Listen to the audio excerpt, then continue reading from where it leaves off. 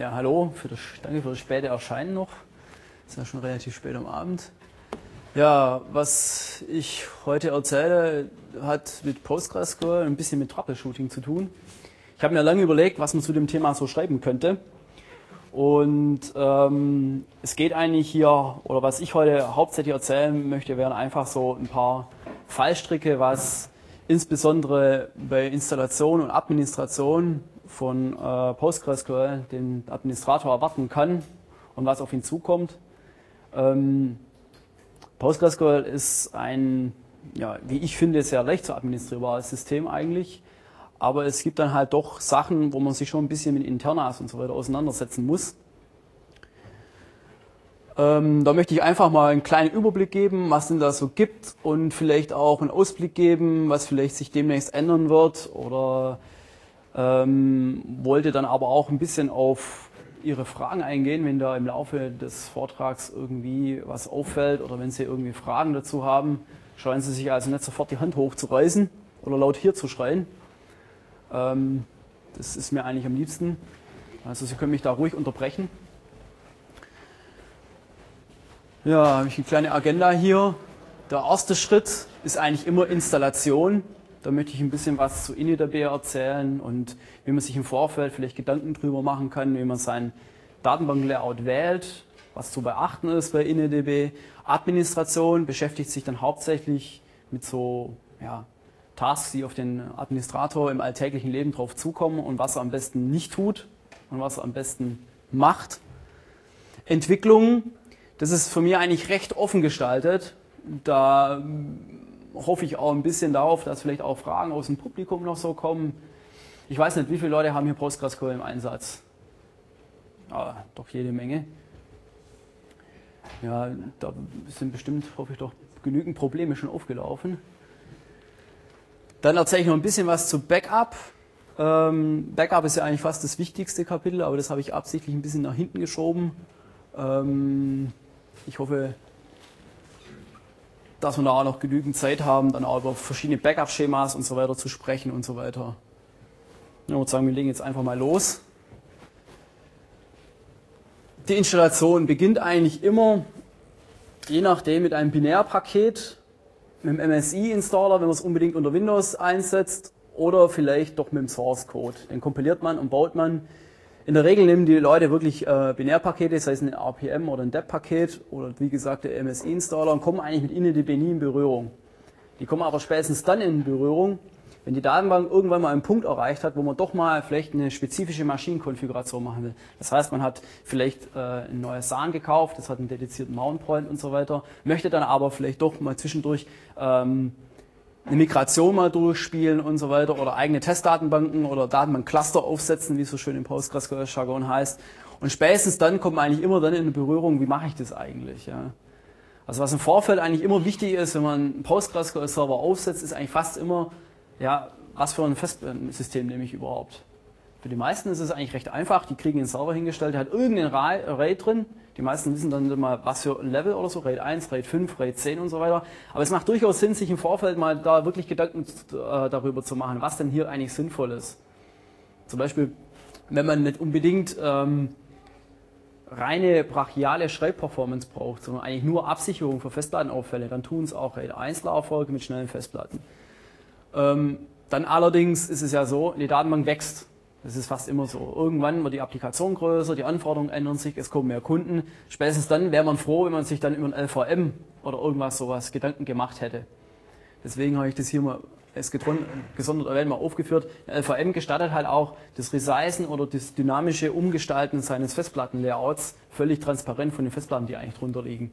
Wenn man das da intelligent macht, dann kann eigentlich das Festplattenlaufwerk das kann man dann Festplatten reinstecken, das LVM vergrößern, dann wächst quasi der Festspeicher immer mit dem Datenbanksystem mit. Empfehlenswert ist dann halt auch, dass man dann auch RAID-Level nimmt, die ein bisschen auch Performance getrimmt sind, dass man sich vielleicht Gedanken macht, im, Vorfeld doch ein bisschen mehr zu investieren und RAID 10 zu nehmen. Das ist für Datenbanken generell eigentlich zu empfehlen. Oder vielleicht ein RAID 5, wenn es ums Lesen geht, wenn man genügend Spindeln hat, also relativ ähm, die Breite geht so 6, 12 Laufwerke oder so, dass man wirklich gute Leseraten hinkriegt. Ähm, das kommt natürlich auf die Anwendung drauf an. Aber es ist halt wichtig, sich im Vorfeld ein bisschen Gedanken darüber zu machen, dass man sich im Nachhinein ständige Umstrukturierungsarbeiten eigentlich ersparen kann. Es gibt eigentlich nichts Schlimmeres, als ein Datenbanksystem ständig umzustrukturieren. Das ist eigentlich, weil da kommt nie eine Kontinuität hin. Das will man eigentlich vermeiden als Admin. Ähm, worüber die Leute eigentlich fast nie nachdenken, ist ein separates Wahllaufwerk. Das betrifft vor allem die Leute, die zum Beispiel OLTP-Anwendungen fahren, wo hunderte von Transaktionen pro Sekunde auf eine Datenbank reinprasseln, weil dann ist eigentlich ähm, das Wahl fast immer der Bottleneck. Und wenn man so eine Konfiguration hat und dann je nachdem, welchen Festspeicher man drunter liegen hat, wenn man zum Beispiel ein Direct Attached Storage hat, dann hat man dann doch vielleicht die Option, separate Spindeln dafür zu reservieren, sei es ein RAID 1 oder RAID 10 mit ja, sehr schnellen Festplatten, dass man einen sehr guten sequenziellen Schreibdurchsatz bekommt, um halt dann die Hauptfestplatten, wo die Daten dann drauf liegen, ein bisschen davon zu entkoppeln. PostgreSQL ähm, protokolliert alle Änderungen einer Datenbank erstmal im Transaktionslog. Ja, und asynchron werden dann die Änderungen irgendwann mal dann in die Datenbasis weggeschrieben. Das Transaktionslog ist aber im Prinzip das, was fürs Recovery zuständig ist. Und wie gesagt, das ist dann meistens bei OLTP-Anwendungen dann der Bottleneck. Ähm, in neueren Releases kann man dann sofort bei initdb festlegen. Ich habe jetzt mal hier MNT-Wahl genommen, da liegt jetzt ein separates äh, Laufwerk drin. Und mit dem Parameter minus x kann man dann das Wahl sofort auf eine andere separate, separaten Mountpoint dann legen. Man kann es auch im Nachhinein machen, indem muss man halt die Datenbank runterfahren, von Hand das PGX-Log-Verzeichnis äh, verschieben und dann einen Symlink drauf machen. Das geht aber halt nur mit einer Downtime. Und wenn man schon weiß, aha, ich habe da schon mit einigen hundert Datenbankverbindungen zu handeln und so weiter, dann lohnt sich das wirklich im Vorfeld so zu machen. Wenn man, bei SAN ist das vielleicht ein bisschen was anderes. Die sind ja halbwegs intelligent, können Schreibleistungen dann entsprechend verteilen. Aber wie gesagt, je nach Hardware ist es dann doch sinnvoll, sich vorhin Gedanken zu machen. Genauso Temp Table Spaces. Die Temp Table Spaces, da kann man sich Vorher bei der Installation schon mal Gedanken machen. Hat man große Queries, die viel sortieren zum Beispiel, also ich muss Unmengen an Daten aggregieren zum Beispiel, dann ist es lohnenswert, ein separates Laufwerk sich vielleicht auszuwählen für die Temp Table Spaces. Das ist neu in 8.3 jetzt hinzugekommen. Damit sind nicht Temp-Tabellen oder so gemeint, sondern wirklich temporäre Dateien, die PostgreSQL benutzt, um Datenbestände während Abfragen zu sortieren. Da kann man auch mehrere Tablespaces angeben und die werden dann im Round-Robin-Verfahren dann pro Query benutzt. Das heißt also, wenn eine Query mehrere Sortieroperationen beinhaltet, dann können die Query im Round-Robin-Verfahren diese Tablespaces durchhangeln quasi. Da kann man ein bisschen Load Balancing dann reinkriegen. Nein. Der wirkt, nimmt die wirklich strikt nach Reihenfolge. Der merkt sich das quasi anhand einer, eines Elements, was er zuletzt gewählt hat, und dann geht er einfach strikt weiter, so zirkulär.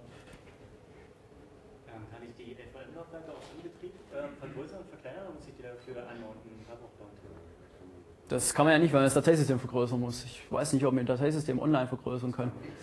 XFS, okay. X3. Christoph, X3? Ja. Aha, neuere. Immer neuere. Also das sollte dann funktionieren. PostgreSQL dürfte das dann auch selber nicht stören, weil der macht ja direkt nichts im Dateisystem. Der ist ja eine ganz normale User-Anwendung eigentlich, das Betriebssystem. Ähm, ein bisschen vorsichtig wäre ich vielleicht mit dem Wahl. Ich weiß es nicht, weil wenn da was schief geht und das Wahl wird korrumpiert, dann könnte es ein Problem geben. Ähm, separater Tablespace für Indexe. Für Sonderfälle ja. Also es kommt darauf an, was man für Anwendungen hat. Wenn man wirklich reine Index-Scans hat in seinen Applikationen, wo man weiß, ich selektiere sowieso nur den Primärschlüssel und so weiter, rentiert sich das eigentlich fast gar nicht. Und selbst bei SANs, die, die ja Schreibanfragen entsprechend verteilen können, ist es eigentlich fast nicht äh, von Vorteil. Im Gegenteil eigentlich. Ähm, es ist aber so, dass zum Beispiel, wenn Bitmap-Index-Scans erfolgen, das heißt also, man hat große Abfragen, PostgreSQL benutzt einen Bitmap-Index, ähm, ne. der läuft unabhängig vom Indexscan eigentlich. Also der Indexscan muss ja immer erst den Index nachgucken und muss dann zurück auf die Tabelle, um zu gucken, ob das Tupel überhaupt für ihn relevant ist. Das heißt, man kriegt da so eine Zickzack-Zugriffsstruktur hin. Ähm, bei sehr vielen Daten, die im Indexscan raus äh, äh, selektiert werden müssen, kann das entsprechend teuer sein, weil der Lesekopf ja ständig zwischen Random hin und her wechseln muss. Kommt natürlich darauf an, was für eine Hardware drunter liegen hat. Und deswegen kann es dann schon von Vorteil sein, wenn man weiß, die Index-Scans sind nicht unbedingt selektiv, sondern haben größere Ranges, ähm, den Index äh, auszulagern auf eine separate Spindel. Einfach, um dann ein bisschen Last da wegzukriegen von dieser einzelnen Spindel. Sonst hämmern die ständig da aufeinander gegenseitig ein und es sind eigentlich konkurrierende so äh, Was ist denn jetzt? Achso, kein, kein WLAN mehr. Gut. Ähm, sollte man sich auch überlegen und es ist aber auch ganz nützlich für Platzmanagement und so weiter. Wenn man weiß, ich habe hier einen separaten Tablespace, ja. Ich möchte ja gerne vorher überlegen, aber ich will es auch gerne messen können. Ja. Äh, muss man dann die Gesamtkonfiguration messen oder kann man wirklich so, also messen, welchen Einfluss jetzt das äh, die Wahl hat, welchen Einfluss der Tablespace für die, äh, das Ausprobieren von, von Maschinenkonfigurationen, also eine Art Benchmarking, das ist natürlich abhängig von der Anwendung. Man kann da, man kann synthetische Benchmarks laufen lassen, wie PG Bench, der ist im PostgreSQL Lieferumfang enthalten. Das Problem ist aber, dass es synthetische Benchmarks sind. Das heißt, also der PG Bench vor allem, das ist ein TPCB, der misst nur Transaktionsdurchsatz. Das ist ihm völlig wurscht, was da in der Datenbank selber abläuft. Hauptsache er kriegt dann halt die Anzahl Transaktionen pro Sekunde hin, die der Anwender erwartet. Ähm, da man kann auch PG Bench dazu benutzen, ähm, applikationsbezogene eigene Abfragen damit zu benchmarken. Dem kann man dann so ein Skript mitgeben. Sind, da kann man dann äh, bestimmte Variablen definieren und so weiter. Und dann hämmern quasi diese Skripte immer äh, gegen die Datenbank. Und dann wird der Transaktionsdurchsatz gemessen. Es gibt Leute, die machen das so, die, die fischen dann quasi langsame Queries oder übliche Queries, ähm, die ein bisschen komplexer sind, aus ihren Log-Files raus und machen daraus ein PG-Bench und messen das damit. Und dann kann man sagen, okay, dass das jetzt so, so langsam war oder so schnell war, lag an Wahl oder lag an äh, Temspace oder Also ein Index-Tablespace wird nie Ihnen den Performance-Benefit dann geben, wenn Sie Performance-Probleme haben, wie ein separates Wahllaufwerk. Also Wahllaufwerk ist wirklich eklatant. Das ist, macht teilweise 20, 30 Prozent dann aus. Wenn nicht sogar mehr. Es kommt natürlich darauf an, wenn Sie nur zwei Verbindungen gleichzeitig haben, dann bringt Ihnen das auch nichts. Weil es geht ja wirklich nur darum, die Transaktionsbandbreite hinzukriegen. Wie viel Platz nimmt so ein Balllaufwerk weg? Das kommt darauf an, wie es konfiguriert wird. Also kann ja auch eine RAM-Drive. Standardmäßig sind 3 mal 16 Megabyte mal 2, also 48 Megabyte und so weiter, plus mal 2. Also das ist, das, man kann es runterkonfigurieren auf ein Segment, das sind dann 16 Megabyte. Man muss immer ein, eins dann in petto halten, also 32 Megabyte. Man kann es aber hochkonfigurieren bis 16, 20, 32 Gigabyte. Wenn man sich, das Problem bei Checkpoints oder Wahl ist halt wirklich, ähm, dass der den, alles was an Daten geschrieben wird, kriegt dieses Teil hier komplett ab. Weil das ist die Lebensversicherung von PostgreSQL. Damit kann er jederzeit einen Crash überstehen und wieder recovern. Ja, also lieber kein RAM. Ja. Und ähm, man muss auch beachten, hier laufen auch F-Syncs. Also PostgreSQL benutzt sogenannten synchronen Schreibvorgänge. Also der synkt die ständig auf die Festplatte beim Commit. Ähm, in Postgres 8.3 kann man auch synchronos Commit ausschalten. Das heißt also, da übernimmt dann ein separater Hintergrundprozess asynchron diese Commits. Das kommt halt natürlich darauf an, ob man sowas haben will, weil man kann dann potenziell nämlich Daten verlieren, weil Daten, die eigentlich gecommitted waren, könnten beim Crash anschließend verloren gehen, weil die ja gar nicht gesynkt sind. Das war früher im Postgres äh, F-Sync Off, aber F-Sync Off war ein Riesenproblem, weil das Inkonsistenten verursachen konnte. Das heißt, wenn Ihnen die Datenbank runtergefallen ist oder einer hat einen Stromstecker gezogen oder irgendwas anderes, ähm, Admins haben mit Kill-9 die, die, das- Backend gekillt, dann konnte es passieren, dass das Wahl inkonsistent geworden ist. Einfach weil die Postgres-Datenbank davon ausging, die Daten sind synchron. Ich habe einem Commit immer synchron. Aber in Wirklichkeit sind die dann im Schreibcache gelandet, weil das F-Sync aus war und das Betriebssystem schreibt die danach gut dünken. Und Synchronous Commit ist im Prinzip so eine Variante, nur dass die Datensicherheit garantiert ist. Das heißt also, die Datenbank ist immer konsistent, aber man kann bereits gecommittete Transaktionen verlieren. Das ist zum Beispiel ein interessantes Feature, wenn man Session-Daten irgendwie verwalten will in der Datenbank. Man hat eine Website, die schreibt Session-Daten, die Session-Daten sind temporär. Dann können diese Session-Schreibvorgänge können dann mit Synchronous Commit Off laufen. Und dann habe ich da schon mal diesen, diesen Instant Transaction Traffic mal ein bisschen weg. Das zweitwichtigste, was man sich überlegen sollte nach diesem Ganzen, ist eigentlich die zu erwartende Größe von Tabellen und Indexe. Ähm, das ist eigentlich nicht so einfach zu berechnen, weil der Tuple-Header, der ändert sich ab und zu mal. Also das hier sind 24 Bytes, das müsste so Stand 8.2 sein. 8.3 hat ein bisschen kleineren Tuple-Header, ich glaube, das sind dann 21 Bytes, sowas um den Dreh rum, oder 20 Bytes sogar nur. Den muss man dann also pro Zeile, die man hat, dazu rechnen. Der Item Pointer für jedes Tupel, das zählt auch noch zum Overhead dazu, ist 4 Bytes. Und dann habe ich hier einfach mal zwei Integer-Felder mal gewählt, A4 Byte. Jetzt komme ich insgesamt auf 8 Byte. Also hätte ein Tupel bereits die Größe von 34 Bytes. Ähm, das kann man dann hochrechnen, ungefähr, auf die zu erwartende Datenmenge. Man geht zum Beispiel von einer Million Datensätze aus, eine Million mal 34 Bytes. Und da muss man aber noch beachten, dass, Daten, dass die PostgreSQL-Datenbank immer eine Page mit 8 Kilobyte anlegt, wo dann diese 34 Bytes dann drin landen. Das heißt also, man nimmt die 8K durch 34 Bytes und errechnet, wie viele Tupel eigentlich dann estimated in meine Page passen und kann die Anzahl dann multiplizieren und hat dann ungefähr eine Gesamtgröße vom Heap, also vom, von der Tabelle. Der Index ist ein bisschen kleiner, da kann man ungefähr vom Drittel ausgehen. Kommt drauf, natürlich, weil der Index enthält ja auch die Nettodaten. Der Index-Header ist aber wesentlich kleiner, halt nur 6 Bytes oder so. Und dadurch sind Indexe dann wesentlich schlanker. Also ein Index auf dem Integerfeld ist, ist um einiges schlanker als ein Tupel in der Tabelle an sich. Da muss man ein bisschen halt äh, Schätzungen betreiben, was man denn so an Tabellendaten erwartet. Schwierig ist dann, wenn man Textdaten hat.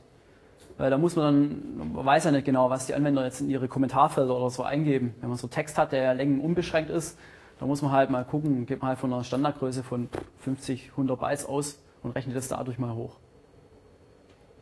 Es ist aber so, dass wenn äh, zum Beispiel, ich hatte so einen Fall letztens, eine 16 Gigabyte Datenbank von 8.2 auf 8.3 hatte dann nur noch 13 Gigabyte. Also die Platzersparnis in 8.3 ist wirklich eklatant. Und vielleicht gibt es in 8.4 sogar noch mehr, weil ähm, man streitet sich gerade rum, ob man diese Fixed-Länge-Felder in PG Glass nicht auch ein bisschen eindampft. Das ist aber ein großer Streitpunkt, weil man nicht genau weiß, wie die, die Seiteneffekte sind und so. Noch Fragen zu der Folie? Der nächste Schritt bei der Installation, und das ist eigentlich fast der wichtigste, finde ich, bei InnoDB. Die meisten Leute machen InnoDB und machen sich keine Gedanken über Encoding und Locale. Da machen sowieso viele Leute einen Bogen drumherum, weil es ja sowieso immer so ein, so ein verflixtes Thema ist. Ähm, in PostgreSQL, wenn man auf einer modernen Plattform ist, dann hat man eigentlich keine Probleme, weil PostgreSQL wird in der Regel, wenn man Debian heutzutage modernes installiert haben UTF-8 und InnoDB, wenn nicht anders ihm gesagt, nimmt dann immer den Systemstandard, der gerade in der Umgebung aktiv ist. Also UTF-8 wird es in der Regel sein und dann halt ein englisches Locale oder deutsches Locale, je nachdem. Früher war das ein bisschen schlimmer, weil da gab es dann immer so ein Fallback auf dieses SQL ASCII Zeugs und SQL ASCII ist aber kein Encoding, das ist nichts, das ist Binärkrams, irgendwas. Das hat dann den Nachteil, dass nämlich sowas hier passiert. Wenn ich jetzt hier die Locale ange angebe, angebe, dann bestimme ich auch indirekt damit die Sortierung in meinem Index, die sogenannte Collation Order. Und interessant wird es zum Beispiel, wenn man hier Deutsch macht, dann sieht man nämlich hier die Unterschiede. Hier war SQL ASCII und hier war UTF-8 DE äh, Locale aktiv. Und man sieht hier Unterschiede in der Sortierung. Und das will man natürlich nicht. Man möchte natürlich dann schon eine ordentliche Sortierung haben, wenn ich deutsche Daten drin habe. Und da muss ich immer appellieren, dass man sich vorher Gedanken darüber macht, welche Daten man drin speichern will. Man kann auch ähm, das Encoding festlegen und ähm, InnoDB dann das Locale überlassen. Ja. Aber dann muss das Locale immer zum Encoding passen und umgekehrt aber auch. Also da muss man natürlich immer sich Gedanken drüber machen. Schwierig wird es dann, wenn man Kyrillisch hat. Ja, da kenne ich mich gar nicht aus. Da braucht man dann schon fast irgendwelche Experten, die das genau hinkriegen, wie es entsprechend funktioniert. Gibt es jemanden, der SQL ASCII verwendet? Sollte eigentlich heutzutage nicht mehr der Fall sein. Freiwillig oder? Freiwillig, ja. Es gibt ja Fälle, wo es durchaus Sinn macht. Also, ja, aber dann stimmt die Sortierung trotzdem nicht. Beim Verlässt, also das ist hier das Binärsortierung, also der sortiert die Dinger nach, was wird das sein? Oktalwert, keine Ahnung. Also, das bringt einem ja nichts. Im PostgreSQL hat man halt das Problem, dass man diese Collation Order nachhinein nicht mehr ändern kann. Deswegen eigentlich der Hinweis jetzt hier explizit darauf. Wenn man mal ein Collation festgelegt hat, dann ist das für alle Zeiten in diesem Cluster betoniert. Dann muss man entweder einen Dump machen, Restore in den neuen Cluster oder sich irgendwas anderes einfallen lassen. Ja. Wie schaut es dann aus, wenn man mehr als eine Sprache in der Datenbank haben möchte? Ja, das ist ein Problem. Das heißt, wenn man jetzt eine Multilingual Application hat, dann. Also man kann Datenbanken im unterschiedlichen Encoding anlegen, das funktioniert. Okay, aber in, also quasi auf Objektebene gibt es dann keine. Nein, auf Tabellenebene funktioniert das nicht. Also andere Datenbanken teilweise, die bieten auch Collation Order bis runter auf äh, äh, Column-Ebene an. Aber die- ich weiß nicht so genau, warum. Also es gab mal Patches, die haben das auch in PostgreSQL nachgerüstet, dann waren die aber nicht so richtig standardkonform. Teilweise haben die auch komische äh, Ergebnisse produziert. Ähm, man weiß noch nicht so genau richtig, wie man das implementieren sollte. Aber ähm, ich denke mal, auf Tabellenebene würde das schon Sinn machen. Auf Spaltenebene kann man sich drüber streiten.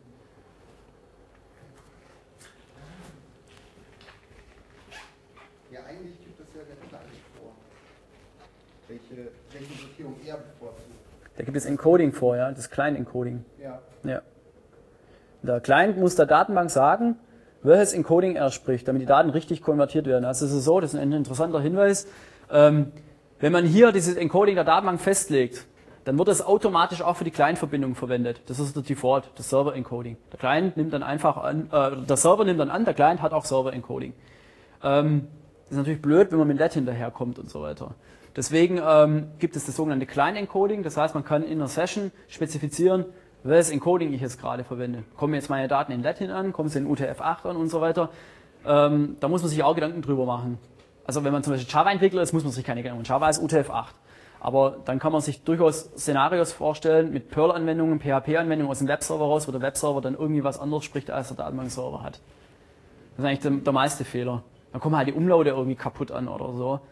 Und das ist dann, also da kommt Bytemüll rein und das ist dann das meiste Zeichen dafür, muss man sich über Klein-Encoding Gedanken machen.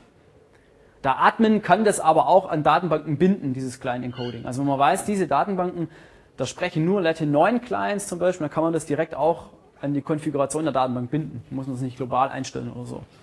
Das heißt aber Multilingual dann, wenn ich da Connection mitgebe, ich will dieses Encoding, dieses was auch immer ich dann erwarte, wird das korrekt konvertiert und ich kriege erst recht die korrekte Sortierung zurück. Richtig. Die Sortierung halt, die dieser Collation entspricht.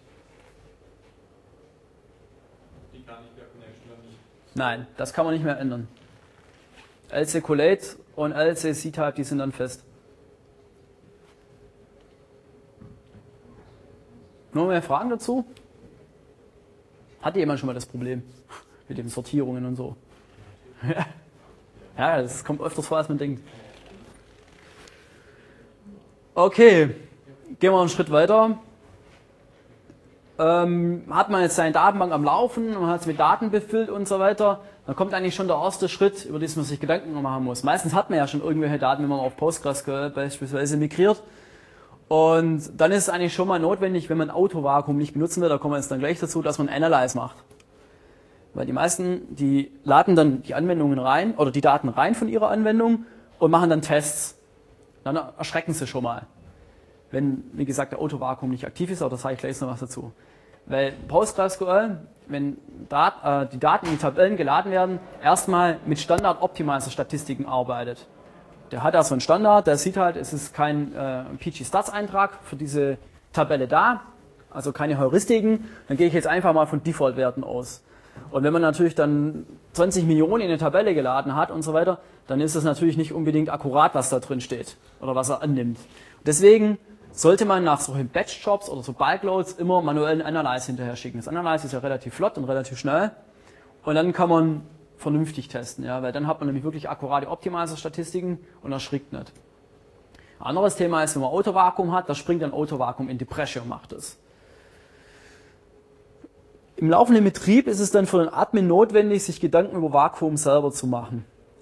Die meisten, die machen halt, die installieren entweder einen Cronjob, der das macht, oder verlassen sich auf Autovakuum. Verlassen ist gut, aber wissen ist besser, sage ich immer. Das heißt also, man sollte sich schon Gedanken machen, wie man es denn genau aufdröselt. Macht überhaupt Autovakuum genau das, was ich will? Vakuum der auch rechtzeitig? Und vor allem, wann vakuumt der? Kann ich mir das leisten, dass während meiner Stoßzeiten gegen 12.30 Uhr oder so wirklich ein Autovakuum läuft und so weiter? Das meine ich damit.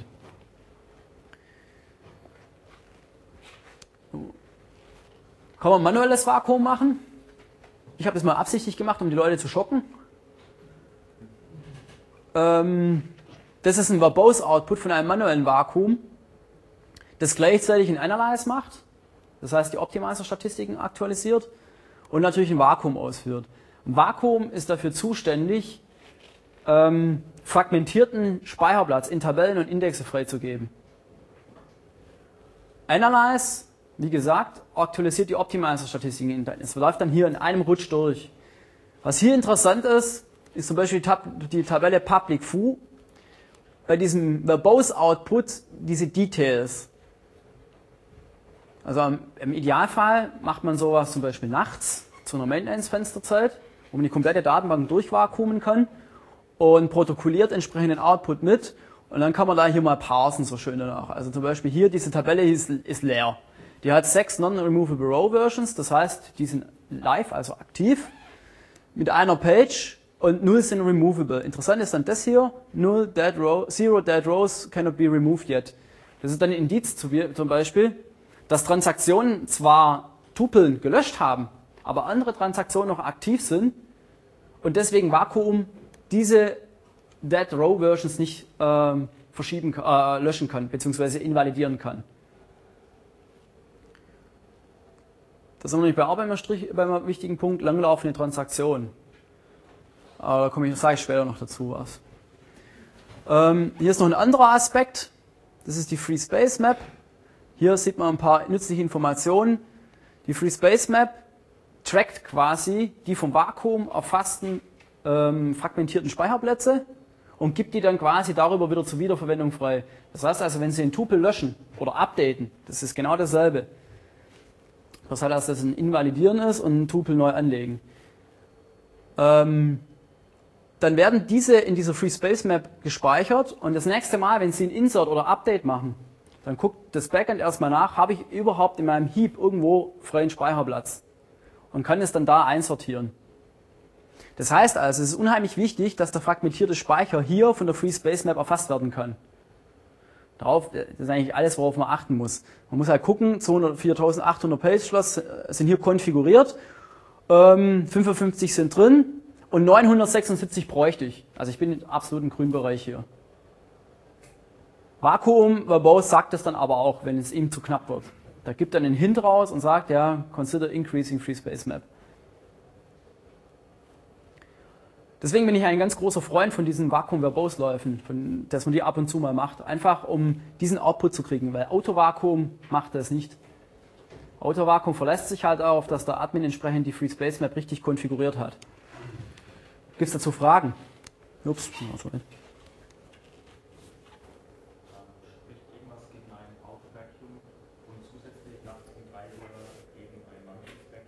Nein, ist sogar empfehlenswert. Man muss aber aufpassen, der Autovakuum weiß nichts davon, dass man jetzt auch nochmal vakuumt. Das heißt, der Autovakuum vakuumt auch. Man hat da mehrere Vakuums laufen und das sorgt natürlich für erhöhte Last. Also in 8.3 ist es sogar noch ein bisschen krasser jetzt, weil da gibt es jetzt mehrere Worker. Der ist jetzt multithreaded oder ein Multiprozess-Vakuum ist das jetzt quasi. Der beschäftigt standardmäßig bis zu drei Vakuumprozesse gleichzeitig oder Analyze-Prozesse. Wichtig ist es eigentlich eher für Analyze, weil ich will ja häufig analysen. Aber fürs Vakuum kann natürlich schon vorkommen, dass dann hier drei gleichzeitig laufen. Und das muss man halt dann mit ähm, in Betracht ziehen, dass das dann ein vierter noch eventuell ist. Und dann macht vielleicht das, das die Festplatte irgendwann mal die Grätsche, weil Vakuum ist eine I.O.-intensive Sache, das muss man so sagen. Je mehr fragmentierter Heap da ist, desto intensiver ist das für die Festplatte. Vor allem auch was ähm, Traffic ins Transaktionslog angeht. Da ist Vakuum auch nicht ganz ohne. Ähm, das sind wir schon beim Stichwort Autovakuum. Der ist eigentlich immer zu empfehlen, finde ich. Ähm, bis auf ein paar Spezialfälle, wo man es sich wirklich nicht leisten kann, dass während Stoßzeit plötzlich ein Vakuum da ist. Ja. Das, das, es gibt durchaus DBAs, die können das nicht leiden und die möchten das auch nicht. Die vakuumen dann lieber selber. Ähm, es gibt aber eine Möglichkeit, solche Tabellen zum Beispiel auszunehmen. Kommen wir gleich noch drauf. Autovakuum on, Track Counts on, das muss sein, damit ich die Stat weil Vakuum oder der Autovakuumdämmen eigentlich auf den Statistiken basiert, die die Datenbank über seine Tabellen sammelt. Und das ist nur dann der Fall, wenn Track Counts auf on steht. Andernfalls weigert sich auch der Autovakuum zu starten. Standardmäßig, wenn man die Source Code runterlädt, also die Vanilla Sourcen und so weiter, die haben, den jetzt standardmäßig aktiviert. Ähm, mit den drei Workern und einer Loopzeit von 60 Sekunden. Das heißt, er guckt alle 60 Sekunden pro Worker nach, ob es was zu tun gibt. Ich hoffe, man kann es lesen. Es gibt diverse Grenzwerte, die eigentlich ausschlaggebend davon, da, dafür sind, ob der Autovakuum-Daemon jetzt reinkickt oder nicht. Das sind der Vakuum Threshold und der Analyze Threshold und die Konfigurationsvariablen Auto Vakuum Vakuum Threshold, Auto Vakuum Vakuum Scale Faktor und das gleiche für Analyze mal die effektiv vorhandene Anzahl an Tupel Moment in der Tabelle. Also diese Formel quasi gibt dann Auskunft, ab wie viel geänderter Tupel dann dieser Threshold dann überschritten wird und dann kommt Vakuum zum Zuge. Also wenn ich jetzt zum Beispiel so konfiguriert habe, dass ich ein Threshold von sagen wir mal 10.000 habe und ich habe 12.000 aktualisiert, Update oder Delete, dann wird diese Formel erfüllt sein und dann kickt der Autovakuum rein. Vielleicht auch ein bisschen später, das kommt darauf an, wie viel gerade los ist. Also diese Parameter hier, die sind konfigurierbar und die bestimmen diesen Threshold quasi.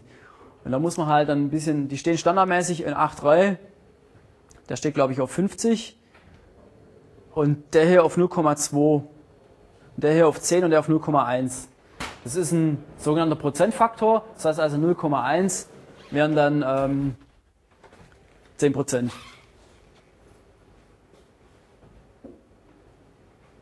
Das ist dann auch ausschlaggebend, zum Beispiel, wenn Sie eine Tabelle initial befüllen. Dann ist es auch wichtig, ob der Autovakuum dann reinkickt oder nicht. Wenn Sie eine Tabelle initial befüllen und er erreicht diesen Threshold nicht, dann kickt er auch vorerst erstmal nicht rein. Beim Befüllen ist Vakuum ja eher irrelevant, da geht es ja eher ums Analyze. Weil beim Befüllen gibt es ja keinen fragmentierten Heap normalerweise. Überwachungsmöglichkeiten für Autovakuum. So, jetzt kommen wir wieder auf das Thema mit diesem Vakuum Verbose zurück. Vakuum Verbose ist viel, viel gesprächiger als das, was Autovakuum im Moment macht. Leider. Das heißt, diese Detailinformationen von der Free Space Map und so weiter kriegen Sie nur so detailliert raus, indem Sie wirklich manuellen Vakuum Verbose machen. Ähm, es gibt die Möglichkeiten in 8.3, ich springe da einfach mal vor, ne?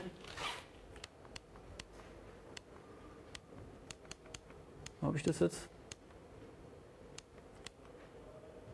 Ja, ist leider nicht drauf, schade.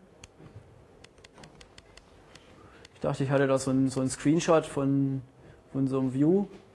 Es gibt die Möglichkeiten über die Stat-Views, machen wir es halt so.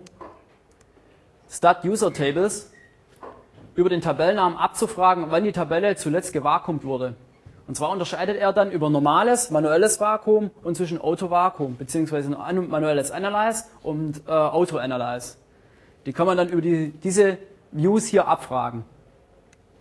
Das ist äh, seit 8.2 dann hier da. Und seit 8.3 gibt es auch die Möglichkeiten, die Verbosity ins Logfile ein bisschen besser zu machen, sodass man auch wirklich sieht, was Autovakuum eigentlich gerade für Tabellen im Beschlag hat und so weiter. In 8.1 gab es das noch gar nicht. Also in 8.1 schreibt er ins Logfile Vacuum in Database Postgres oder so. Mehr steht da nicht drin. Gibt es da Fragen dazu? Jemand schon seine Erfahrungen im Autovakuum gemacht? Oder mit Vakuum generell?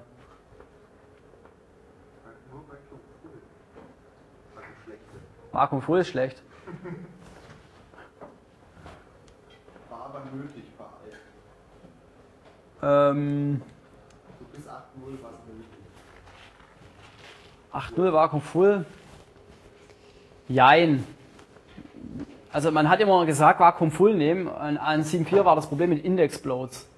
Das, also in, in die älteren Versionen vor 8.0 haben das Problem, dass ähm, Index-Pages, wenn die zum Beispiel ein Tupel drin hatten ähm, und diese Page ansonsten, die sind ja auch 8K groß, ansonsten leer waren, dann hat er die nicht irgendwie wieder freigeben können oder so. Die, die lagen dann einfach rum und wenn die dann letztendlich gelöscht wurden und die waren nicht balanced oder so, dann ist das komplett unten runter rausgefallen. Das heißt, er hätte nie gevakuumt oder irgendwie zur Wiederfreigabe irgendwie invalidiert. Und deswegen ist der Index, konnte unter Umständen, es ist nicht zwangsläufig passiert, aber konnte passieren, dass ein 7.4 der Index ganz stark angewachsen ist. Und man konnte das eigentlich nur, wenn man Re-Index oder Vakuum Full wieder kleiner machen. Eigentlich eher, ich würde eher Re-Index nehmen und den Heap erstmal in Ruhe lassen. Erst dann, wenn der Heap wirklich auch wirklich aufgeblasen ist, dann sollte man dann auch Vakuum Full machen. Vakuum Full ist eine sehr teure Operation. Das Problem ist, dass Vakuum Full wirklich die Tabelle im Endeffekt abgrast, trackt, wo hat er freien Platz und dann von unten her die Tupel wieder einsortiert. Und anschließend schrinkt er die Relation. Das ist aber ein unheimlich aufwendiger Vorgang, weil beispielsweise, bitte? Full Database Log. Erstens das, es ist ein Access Exclusive Log auf der Tabelle, das heißt, die Tabelle ist nicht zugriffbar, man braucht ein Maintenance-Fenster. Zum einen ist das unheimlich Transaktionslog intensiv, der schreibt im Unmengen daraus, weil die ganze, die komplette Tupel muss, muss wahllogged sein, weil er hat es ja geändert, mehr oder weniger. Und ähm, ja, was ich aber noch viel schlimmer fand, ist ähm, die Laufzeiten teilweise, die da bei großen Tabellen entstehen, die sind eklatant, weil ähm, der Workmem, beziehungsweise der Maintenance Workmem, früher Maintenance, äh, doch Maintenance Workmem und früher Sortmem hieß er früher, der ähm, sagt dem Vakuum, wie viel Hauptspeicher er benutzen soll.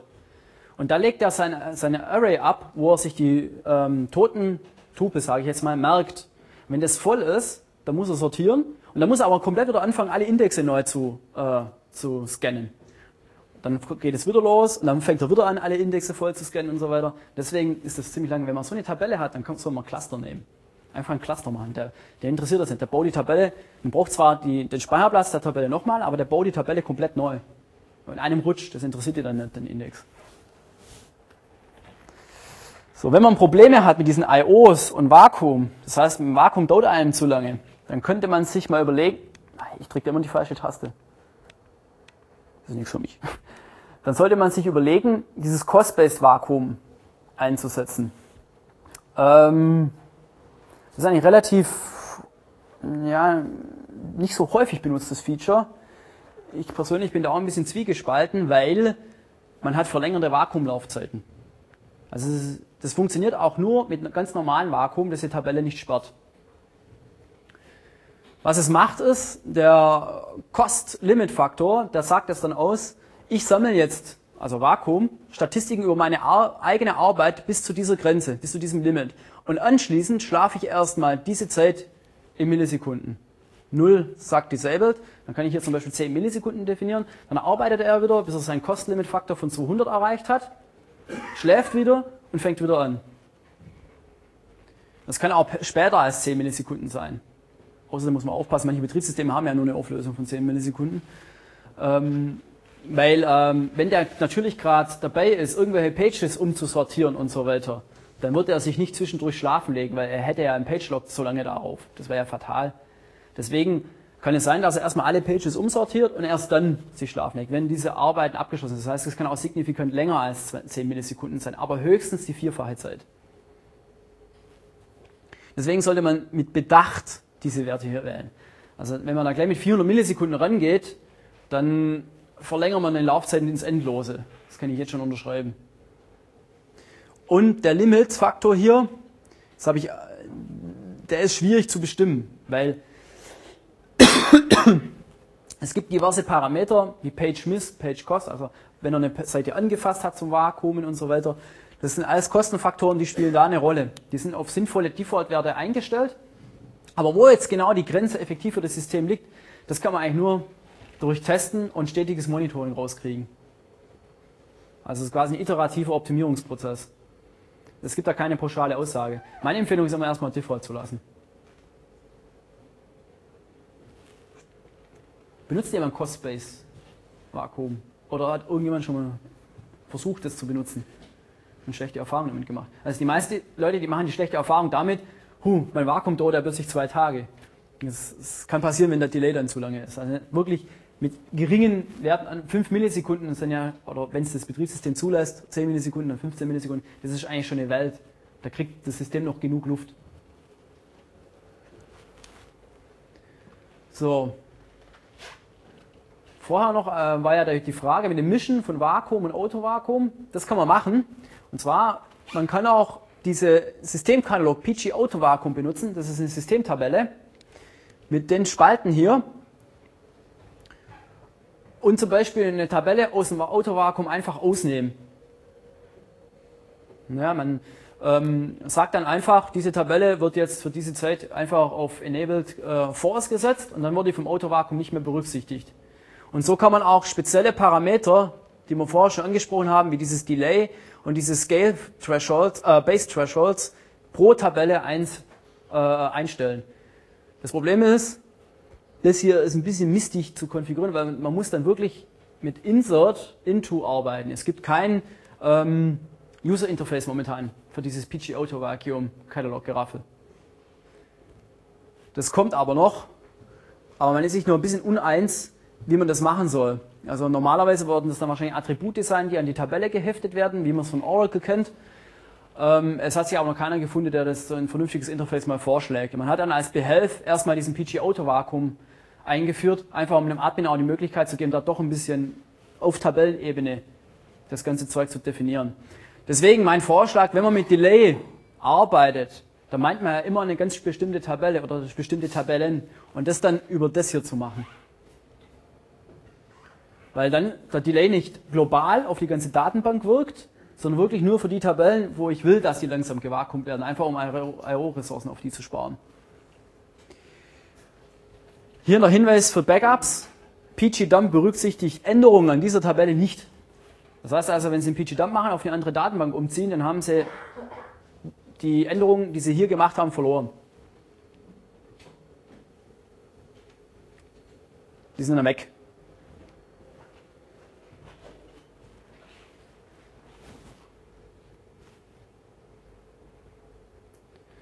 Wir haben vorher schon die Free Space Map kurz erwähnt.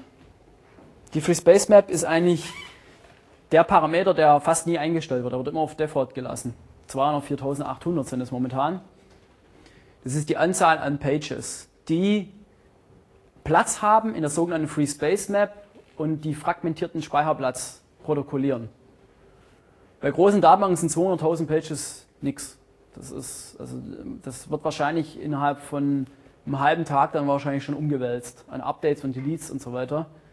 Es ist kein Fehler, diesen Wert signifikant zu erhöhen auf, sagen wir mal, 2 Millionen oder so. Man muss wohl beachten, das braucht Shared Memory. Also es kann sein, dass man SHL Max im Kernel oder so erhöhen muss. Aber ähm, der Eintrag, jeder Eintrag braucht 6 Bytes. Also 2 Millionen mal 6 Bytes, das sollte eigentlich auf heutigen Datenbankmaschinen verschmerzbar sein. Aber dann ist man eigentlich schon auf einer sichere, sicheren Seite. Also 200.000 ist ja fast immer eigentlich zu knapp. Das ist die Anzahl an Relationen, die in die FSM getrackt werden können. Die steht standardmäßig auf 1000. Das ist eigentlich eine gute Zahl. Da zählen allerdings auch Indexe und Systemkataloge dazu. Also Systemkataloge, Systemobjekte sind ungefähr, was sind das, 150 Stück oder so. Also war eigentlich immer noch auf der sicheren Seite. Ich habe schon erwähnt, zu kleine Maps, die sorgen dafür, dass fragmentierter Heap nicht getrackt wird. Das heißt also, er wird nicht mehr zur Wiederverwendung freigegeben. Tabellen und Indexe wachsen. Vakuum Verbos haben wir schon angesprochen. PG Free Space Map ist auch eine Möglichkeit, die Free Space Map ein bisschen zu monitoren als Admin. Das ist ein Contrib-Modul, das muss man hinzu installieren. Ähm, das ist dann quasi ein View, also eine Tabelle, die kann man abfragen und da stehen dann Nutzungs-, also die, die Zahlen drin. Das sind, glaube ich, zwei Views, um genau zu sein, die der installiert. Und da gibt es ein View, da stehen dann quasi die Auslastung der Free Space Map drin. Der liest quasi die Free Space Map in Echtzeit aus und zeigt, über einen ganz normalen SQL kann man das abfragen und zeigt es dann an. Was dann, ja, da kann man zum Beispiel die OID der Tabelle wählen, dann einen Count drüber laufen lassen und dann sieht man ungefähr, wie viel Tabellen, äh, wie viel äh, fragmentierten Platz die Tabelle da drin hat.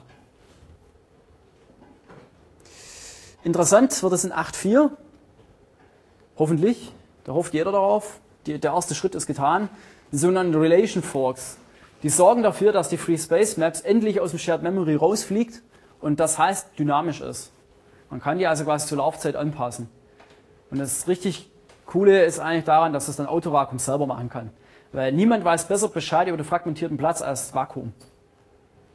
Der Admin, der muss da ständig hin und her hinterher sein, der muss dann seine Logfiles monitoren und so weiter. Und dann ist aber Autovakuum in der Lage, diese Relation Fork selbstständig einzustellen.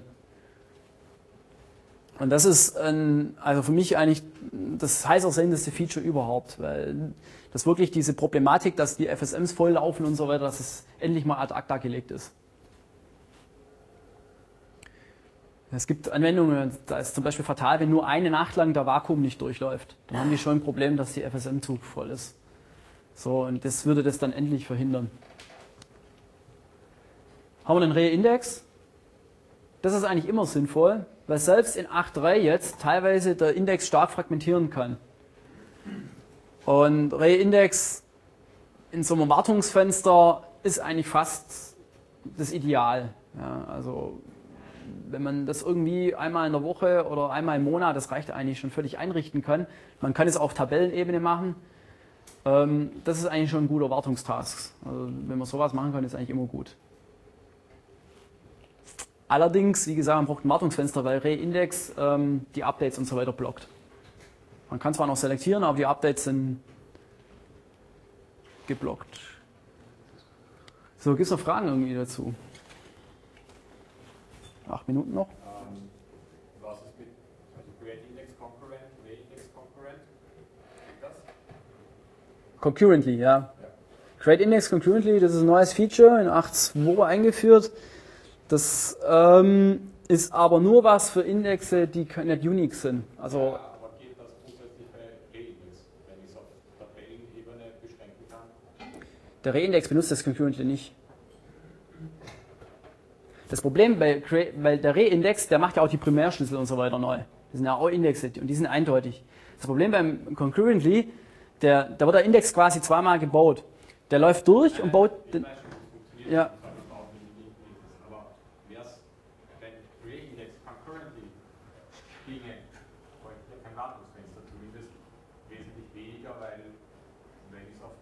Ja, aber du, du läufst Gefahr, kaputte Indexe zurückzulassen. Deswegen will man das eigentlich nicht machen. Ja, klar. Dann kannst du, ja, dann musst du allerdings den Index extra, extra angeben. Das funktioniert. Das könnt ihr mal machen, ja. Also ein Re-Index ist ja auch nichts anderes als ein Drop-Index, Create-Index. Das kann man machen. Ja. Da kann man sich dann so ein Wartungsskript schreiben, dass das entsprechend dann aufdröselt, ja.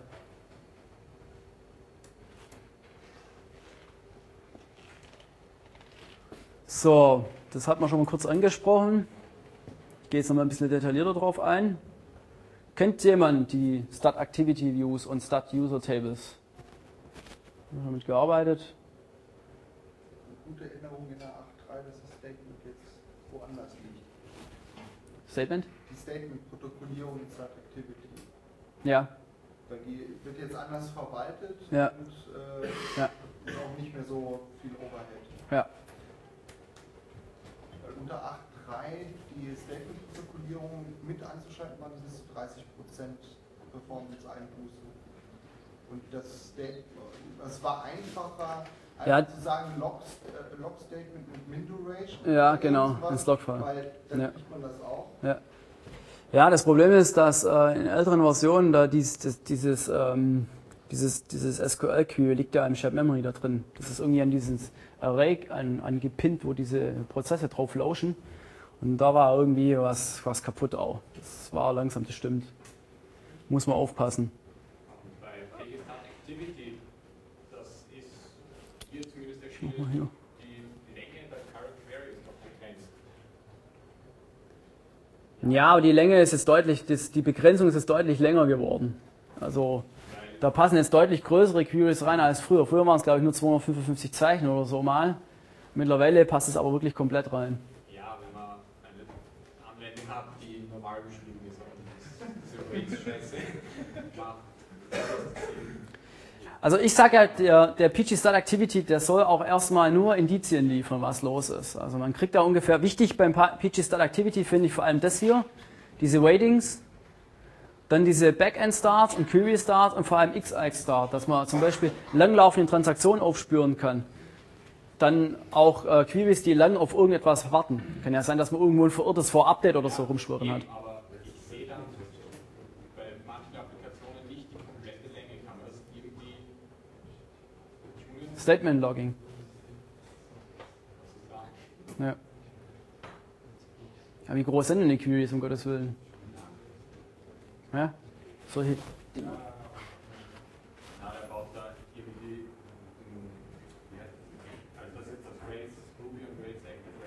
Ja, Ja. Also mehrere hundert Zeilen sollten kein Problem sein, aber wenn es dann natürlich in die Tausende geht, da begrenzt er dann irgendwann mal. Ich weiß gar nicht, wo die Grenze liegt, 16k oder so? Ich weiß gar nicht. Ich glaube 16k müssten das sein.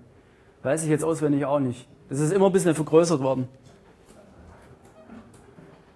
Also es gibt keine Statement-Begrenzung im Postgres an sich. Das Statement kann endlos groß sein. Das Problem ist halt nur die Anzeige hier im PG Start Activity.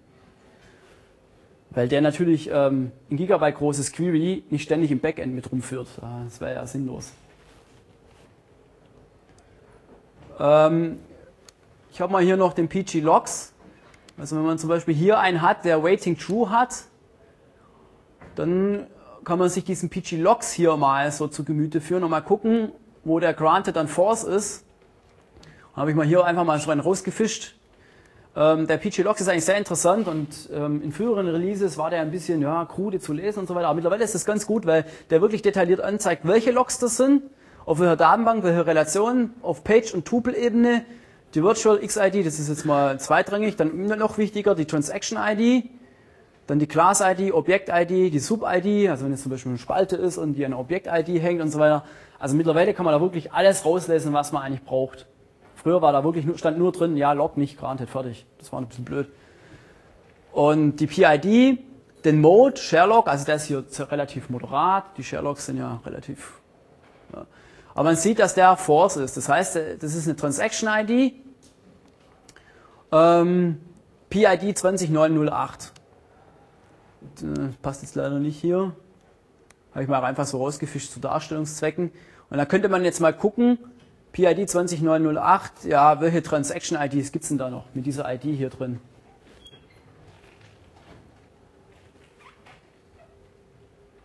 Jemand schon mal benutzt den PG Logs? Als Join. Als Join mit einer anderen. Ja, man joint die dann zusammen oder so. Da muss man sich, das Problem ist halt, äh, die allein, ja, ich meine, so richtig aussagekräftig ist, aber es ist endlich die Möglichkeit da, mit Joins und so weiter die Informationen sich selber zusammenzuzimmern. Oder man benutzt entsprechende Tools wie PG-Admin, die das von sich aus schon machen. Zwei Minuten immer noch. Überwachung habe ich nur ein paar ähm, wichtige, meiner Ansicht nach wirklich wichtige Sachen angeführt. Min Duration Statement, das ist eigentlich immer nützlich. Hier mal salopp auf zwei Minuten eingestellt, aber das ist dann für Anwendungen wichtig, wo man wirklich wissen will, was sind denn die Ausreißer nach oben. Also da kann man dann das einschalten, in SIG Hub schicken und dann kann man sich die dann mal rausfischen, was denn da so lange braucht. Äh, Min Error Statement auf Error setzen, damit man auch die Statements kriegt, die die Fehler machen zum Beispiel. Sonst steht da nämlich nur Error drin, aber nicht das Statement. Und was auch lustig ist, ähm, auf 8.3 jetzt bezogen, finde ich, das sind zum einen diese Log-Checkpoints, dass man ein gewisses Gefühl kriegt, wie laufen denn die Checkpoints in meiner Datenbank ab.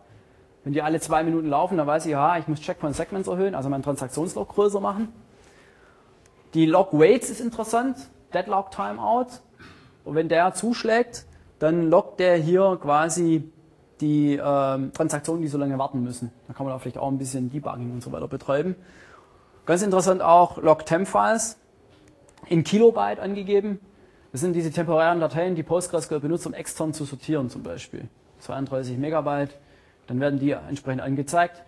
Und dann kann man vielleicht auch mal, dann kriegt man endlich mal ein Gefühl, was eigentlich auf der Festplatte so an, an, zusätzlich noch los ist. Und auch neu ab 8.2 Log Auto Vacuum Min Duration. Ähm, da sieht man dann die minimale Zeit, die, also 10 Minuten, und dann werden alle Vaku Vakuums gelockt, die länger als 10 Minuten gebraucht haben.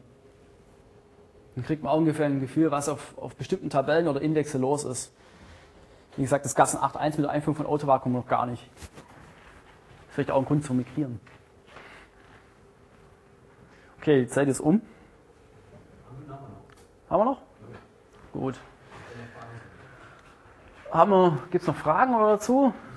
Muss ja nicht unbedingt jetzt zu diesen Parametern sein, sondern vielleicht zu anderen.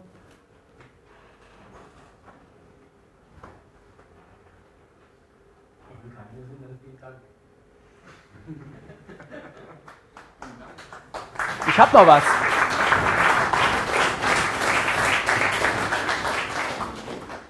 Ich habe noch was.